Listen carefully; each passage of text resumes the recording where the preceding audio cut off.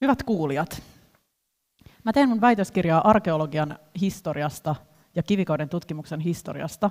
Ja tätä tutkimusta tehdessä mä oon hieman yllättynytkin siitä, että miten poliittista arkeologia tuntuu monesti olevan.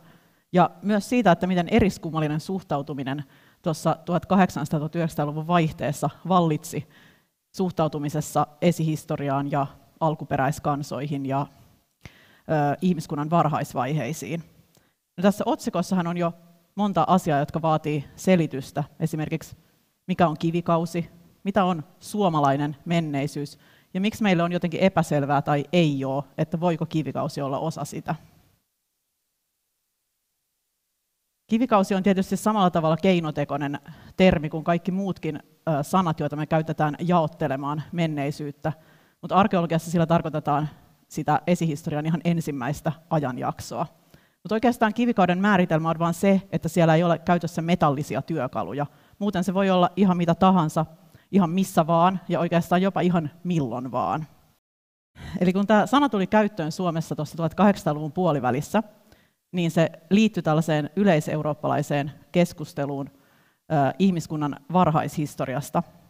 Ja 1700-luvun aikana jo tällainen raamatun merkitys tällaisena ihmiskunnan yleisenä historiankirjana vähentyi, ja ilmiöitä alettiin selittää enemmän esimerkiksi historiallisella tutkimuksella ja luonnontieteellisellä tutkimuksella.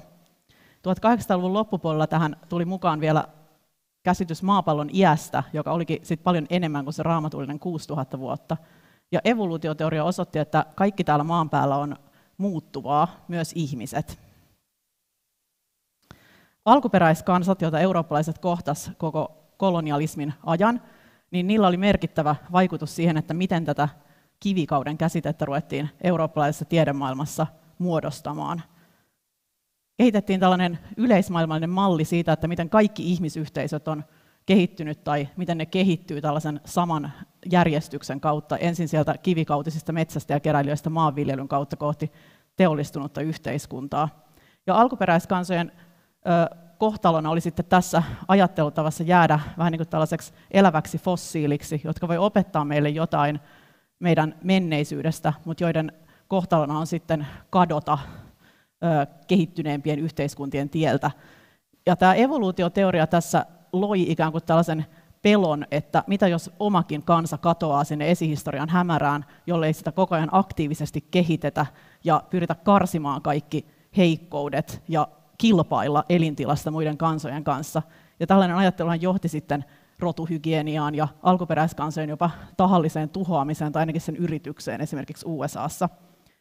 Ja kun meillä Suomessa kuitenkin on alkuperäiskansa, eli saamelaiset, niin tämä aiheutti erilaisia jännitteitä sitten tähän Suomen esihistoriaan, että miten, miten niin ajateltiin, että miten, miten, mistä vaikka suomalaiset on tullut tänne ja mistä saamelaiset ja mitä on tapahtunut.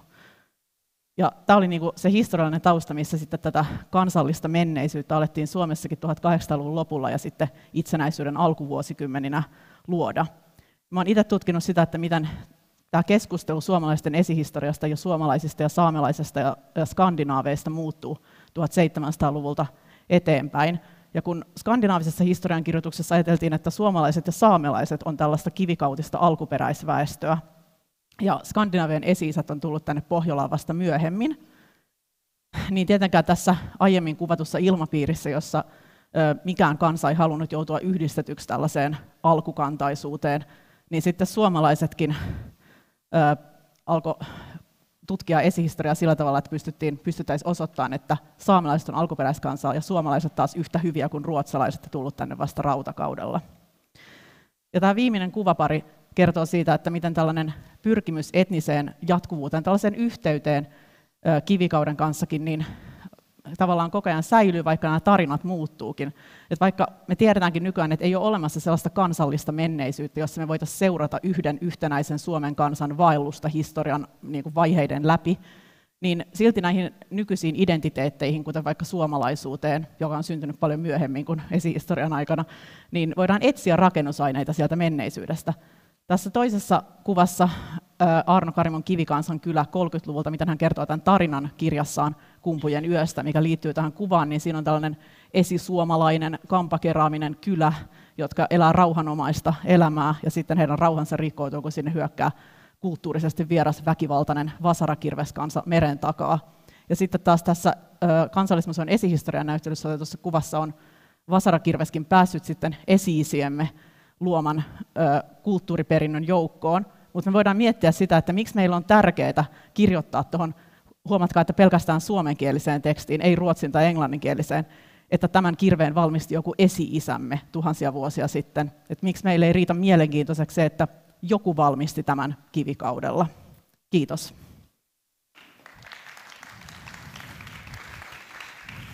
Kiitos Liisa Kunnaspusa. Tuo on niin tehokas tuo lopetus. Me ja sitten on ne muut, jotka lukee noita juttuja vähän eri kielellä täällä. Huikein kiinnostavaa ja ylipäätään intro koko käsitteeseen ja tähän aiheeseen. Mutta kehotan nyt, koska sä teet itse tosi kiinnostavaa tutkimusta, niin kerro vielä vähän tarkemmin siitä, miten sä teet sun omaa tutkimusta ja millaisia aineistoja sä käytät. No, mä oon käyttänyt aineistona esimerkiksi 1700-luvun opinnäytteitä, mitä Suomessa on tehty Turun Akatemiassa, että miten niissä puhutaan esihistoriasta tai niin kuin kirjallisten lähteiden takaisesta menneisyydestä ja miten siellä puhutaan suomalaisten, että mistä, miten ajatellaan, että missä vaiheessa suomalaisia on asunut täällä, että missä vaiheessa tällainen niin kuin kansallisen identiteetin rakentaminen alkaa. Ja sitten muuta kirjallisuutta myös, että 1800-luvulla alkaa tulla sitten enemmän tällaisia yle, yleisöllekin tarkoitettuja kirjoja sen lisäksi, että on tieteellistä tutkimusta. Kuulostaa mielenkiintoiselta aineistolta. Mm, sano vielä, että miksi tätä tutkimusta on oikeastaan tosi tärkeää tehdä just nyt meidän ajassa. Se on itse asiassa tosi ajankohtaista. No, me huomataan just, että tällainen yhteys, mitä haetaan johonkin tosi kauas niin kuin esihistorialliseen aikaankin, niin on nykyään taas hirveän muodikasta, että tällainen etnonationalismi, mikä oli suosittua joskus ennen toista maailmansotaa, niin, niin on nykyään taas niin kuin uudessa nosteessa. Ja on niin kuin olemassa poliittisia tahoja, jotka, jotka haluaa etsiä tällaisen kantasuomalaisen määritelmää ulottaen sen niin, kuin niin kauas, että me ei todellisuudessa voida sitä mitenkään niin kuin tietää, koska tällaiset identiteetit, niin kuin vaikka suomalainen tai saamelainen, niin ne on syntynyt niin kuin paljon myöhemmin kuin vaikka joku esihistoriallinen. Niin nämä on niin tällaisia asioita, mitä, mitä tulee koko ajan esiin, vaikka niin luulisi, että tutkii historiaa. Ja historiaa käytetään, historiaa ja menneisyyttä ja arkeologiaa käytetään poliittisiin tarkoituksiin siten, että niin ehkä pahimpana esimerkkinä Ukrainan sota, jossa Venäjä käyttää epämääräisiä historian tulkintoja osoittaakseen, että ukrainalaiset eivät ansaitse omaa maata. Täällä on itse asiassa todella järisyttäviä vaikutuksia tämän tyyppisellä tulkinnalla. Eli tästä on todella hyvä olla tietoinen, erittäin hyvä pointti. Kerro seuraavaksi vähän siitä, että on kaikenlaisia aika sitkeitä väärinkäsityksiä kivikauteen liittyen Suomen alueella. Ja se vähän niitä tuossa avasitkin, mutta sano nyt vielä, että mitkä on niinku niitä kaikista suurimpia kummallisuuksia, vääriä myyttejä, mitä me hellitään ehkä edelleen?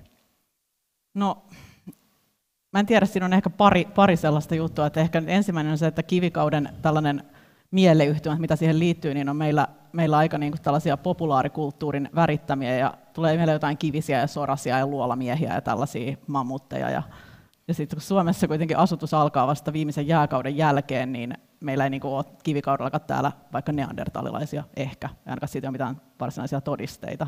Et, niin kuin se ei välttämättä ole niin, niin tota, vierasta ja eriskummallista, että et niin kuin siellä suunnilleen dinosaurusten joukossa pyörittäisi ja sitten toinen ehkä liittyy tähän, tähän että, että, että niin kuin hirveän kiinnostuneita ihmiset on usein, usein niin kuin tästä suomalaisten saapumisesta Suomeen, mutta sit sitä ei voi sillä tavalla niin kuin arkeologisesti osoittaa, että, että niin kuin vaikkapa kivikauden väestö olisi ollut saamelaista, koska ei, ei niin kuin toisia kieliä tai kansallisuuksia ole silloin vielä ollut olemassa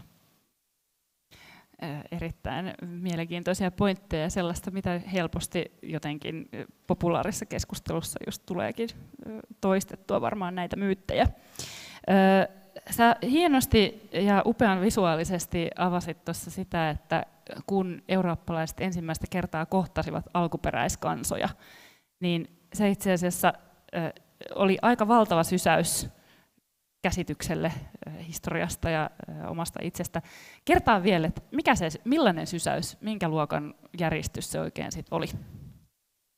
Mm, no, esimerkiksi Amerikan alkuperäiskansat ja koko Amerikan mantere, kun se tuli eurooppalaisten tietoisuuteen, niin haastoi sitä koko maailman kuvaa, että esimerkiksi eihän raamattua voikaan käyttää ihmiskunnan historian kirjana, koska miksi niin kuin näitä koko Amerikan manteretta tai siellä asuvia ihmisiä ei mainita siellä ollenkaan. Että voiko niin kuin raamattuun enää luottaa missään, jos siellä ei tiedetä edes tällaisesta.